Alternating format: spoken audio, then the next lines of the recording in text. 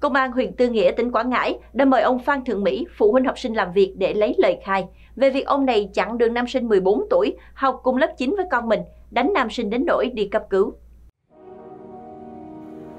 Khoảng 11 giờ 30 phút ngày 8 tháng 12, nam sinh lớp 9 trường trung học cơ sở thị trấn La Hà, huyện Tư Nghĩa, tỉnh Quảng Ngãi vừa chạy xe đạp ra khỏi cổng trường khoảng 800 m thì bị ông Phan Thượng Mỹ từ phía sau áp sát, đe dọa và đánh đập.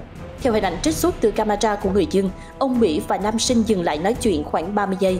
Sau đó ông Mỹ lao vào đánh, nạn nhân phản kháng thì ông Mỹ dùng nắm đấm, cùi chỏ, đầu gối đánh vào những vị trí hiểm yếu trên cơ thể.